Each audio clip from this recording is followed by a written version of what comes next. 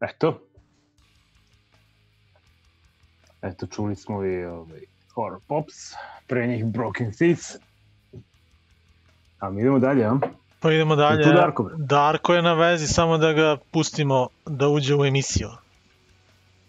Kuca, evo ga, kuca na vratu. Jel kucao, jes? Jeste. Opa! O, A, evo ga evo ga. Dare.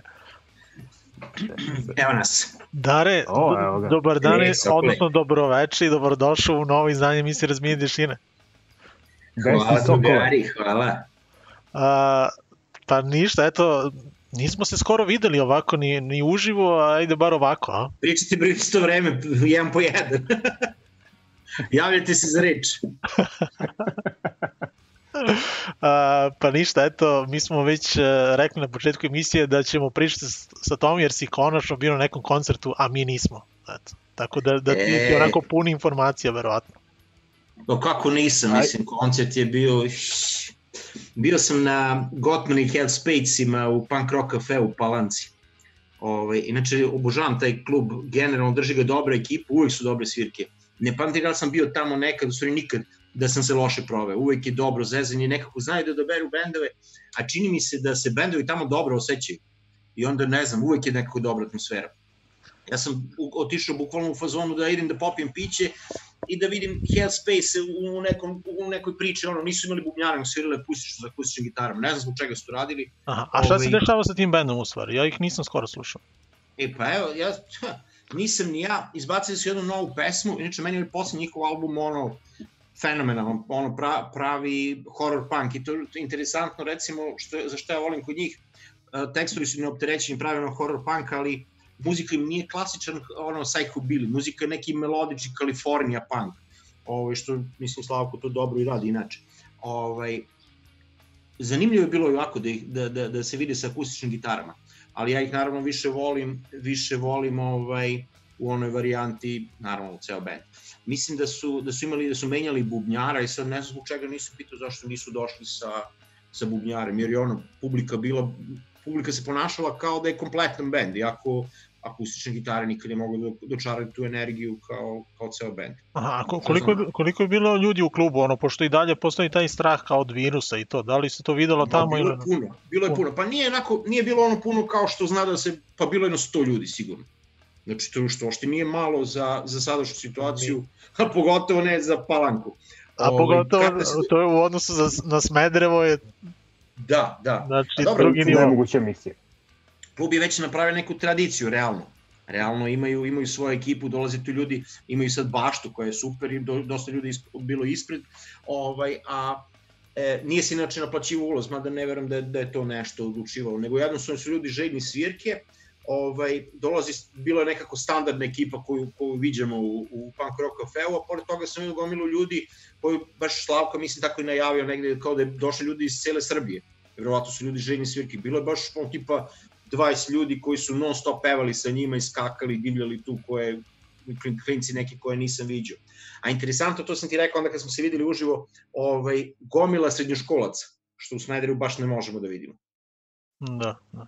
Sve u svemu meni strava svirka, ono baš pravi pogodak ovaj, posle sve ove izolacije, da, da, da odem tako jednu dobru svirku, a pogotovo mi je interesantno što nisam ništa očekivao. Otišao sam, e, kao idem popijem piće i da se vratim. Međutim, baš, baš se dobro proveo. E, a sad e, ljudi koji tebe ne poznaju, oni ne znaju u stvari koliko ti voliš da pričaš i koliko si u stvari zabavan sagovornik. Tako da, eto, što, da, tako da, ajde da, da upoznamo ljude, u stvari, ko te ne, ne zna, eto, ti si čovjek koji već, pa možda i, je i, i skoro i 30 godina na sceni, ako ne i više. Sledeće godine 30 godina od prvog koncerta. Sleć, eto, to je to. Tako da, 29. vrlo si aktivan svih ovih decenija, možemo sad da kažemo, a, ali... Opet skočem, brate, blam. ali o, ti eto i nakon 30 godina i dalje e, imaš energije i imaš nalaziš neko vremena da da držiš gitaru u rukama i da a, da sviraš i kreiraš neke nove stvari. Šta šta to novo radiš? pa koliko Ima i novu gitaru. ne znam, is, is, da, imam novu gitaru, pa ispunjavam neke svoje dečačke snove. Ovaj, ništa, počnem sad pravim neki, neki, neki rok. U stvari, taj projekat postoji, ne znam da se sećate, od pre 8 godina, kad smo svirali kao predrupa šanku ovih sa Bud Spankers. A, Da, ja imam, ja imam a, te neke snimke iz, a, verovatno iz tu gde ste imali probe, pa si mi slao nešto, tako da sam ja to sačuvao. Ovo, to je bilo dobro. Ti mislim da si nam ta, či, ti čak pravio logo ovog se zove za taj, Ne, za taj koncert. To je bilo, to je bilo zezanje za tu svirku. Sa, prvo smo vežbali sa Srkijem, pa sa mojim Jelenom. Svirali smo u principu 4-5 roka bili stvari, Psycho bili stvari, ostalo smo svirali Gavrilov repertoar. Ali to je tad krenulo kao neko zezanje, ja mislim, od, od uvijek se ložim na taj neki rock bili, Psycho bili. Ove, sad nam Ivica u Nemačkoj, pa Gavrilo ono radi kad je on tu mislim Gavrilo radi, mi radimo stalno, ali možemo da imamo svirke kad je on tu, a rešili smo da više ne sviramo bez njega Gavrilo koncerte, bez obzira koliko je mali, ovaj, kako se zove, Igor bio strava, se uklopio i deo je naše ekipe, realno, Gavrilo je jednostavno sa Ivicom. I, ovaj, i onda, a pošto imamo te probe, imamo onu prostoriju što znate, i onda se mi tu skupljamo, zezamo se, počeli smo u posljednje vreme, sviramo tako neki rockabilly, nešto, zajebavamo se, imamo neke, imam neke ideje koje godinama sam, nisu bile jednostavno za Gavrila, da su više su mekane ili imaju neke mračne tekstove ili što ja znam.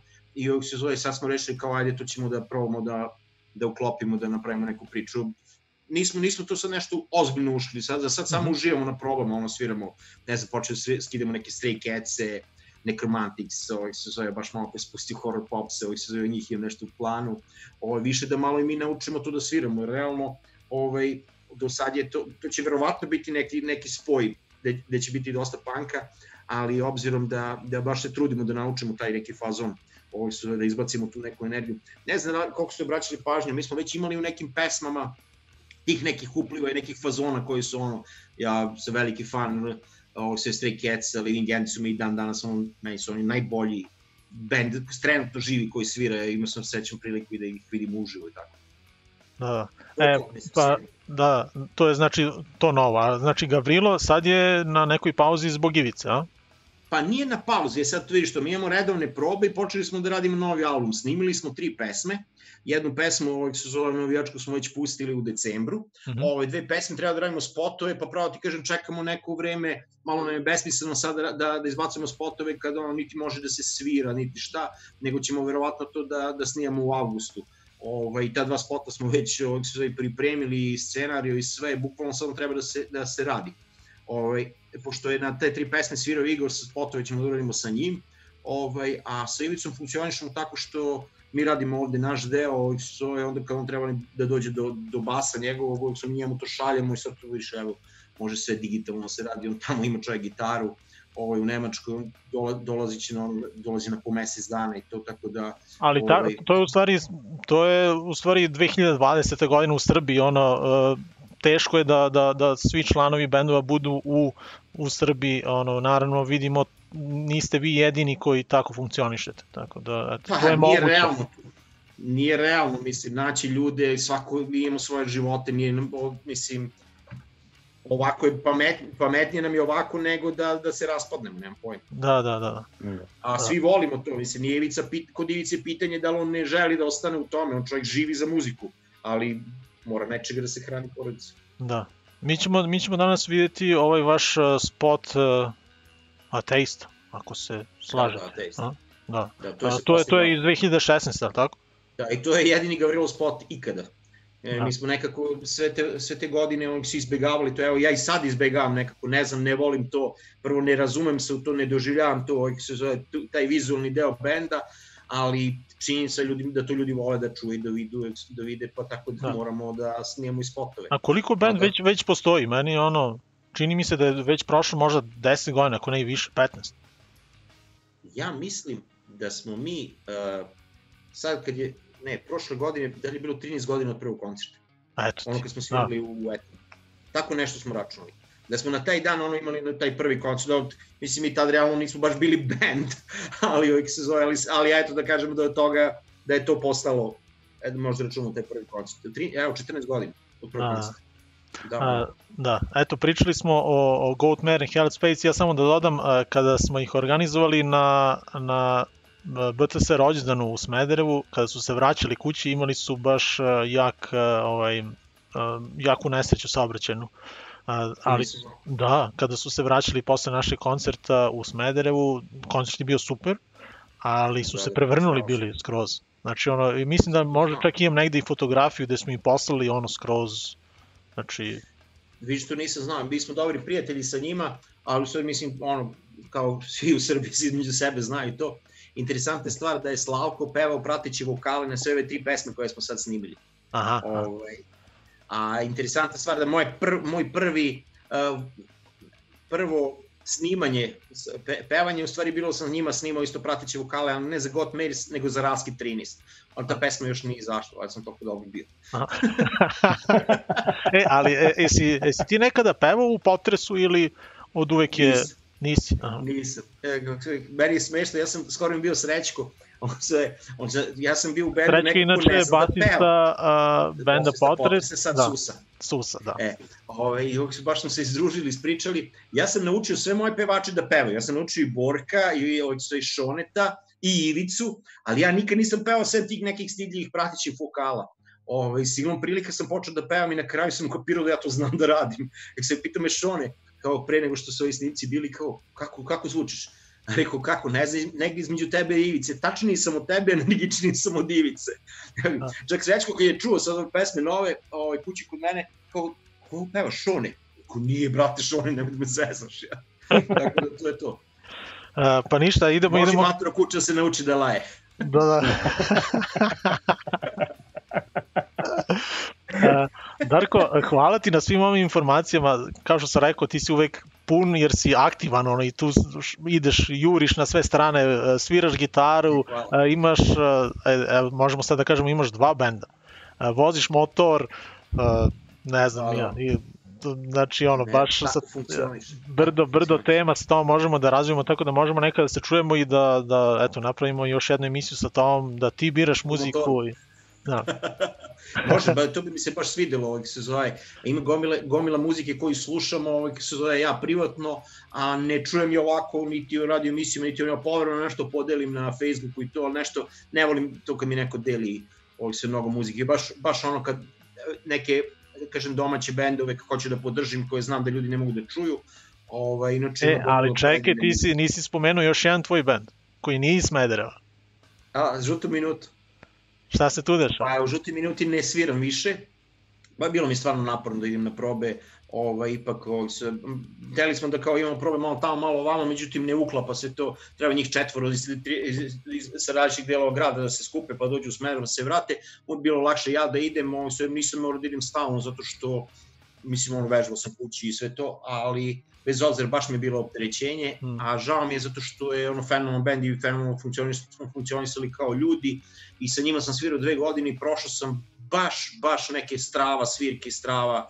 O, s njima sam doživio jednu, jednu svirku koju a, ne verujem da je malo bendova u, u bivšoj Jugoslaviji imalo takav, ta, takav nastup, nisam imao ni sa Potresom, ni sa Gavrilom, jako smatram da sam više prošli nego sa minutu na to. Svirali smo 10 godina benda Komunalna higijena iz Ohrida, gde smo svirali na brodu koji je bio ono specijalno iznam, iznajmljen i 6 sati je išao po, kružio po Ohridskom jezeru, znači DJ, uh, karte su ono bile tipa 20 evra, su rasprodate, i 150 ljudi bio ograničeno i rasprodate su tipa mesec dana pre pre uopšte samog događaja. To ono, mislim, kao, kao ne, znam, ne znam gde, znači brod gde je postavljeno zvučenje, sviramo i to je, mislim da, da smo čak na, na minutinom pro- profilu i delili neki video strava koji je bio sa, to, sa, sa, sa te svirke. Baš nešto, ono što je za pamćenje. Eto, to je minuta, znači meni nešto strava u, u sećanju. A, pa ništa, ajde da najavimo sad ovaj spot, znači slušat ćemo Ateistu, odnosno vidjet ćemo taj spot. a, no, E. Naravno, ova šminka, to dolazi, to je došlo od Kike, ali tako? Jeste, Kika. Ovaj, pa mi smo se trudili eto da to nekoj low budget varijanti napravimo neku, neku ideju da prenesemo šta smo hteli tom pesmom, da, da kažem interesantno, to je e, jedini naš spot i ta pesma je nekako nosila taj album koji iskreno nismo uopšte skoro promovisali sam te pesme i možda dve svirke, tad smo bili tu nekim životni ivica, Nemačka, vraćanje ovamo namo.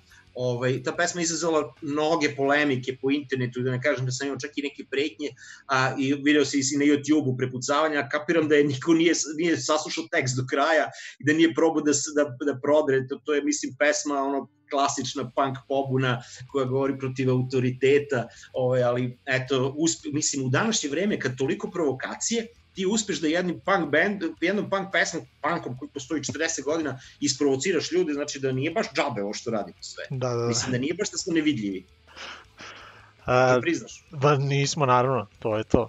A, Darko, hvala ti što si, što si eto izdvojio čuti ovih nekoliko vreme. minuta. Zoka samo slušao, nema šta, stavio je Evo. naočara i... I zapisujem, beležim sve. Da. A lepo ti stoje na očari. Aha. A, idemo na te isto. Darko, hvala ti još jednom a, što si izdvojio eto par ovih minuta da se družiš sa nama. E, hvala vama, budite mi pozdravljeni vi slušalci, gledalci. Važi, ćao, ćao. Ćao.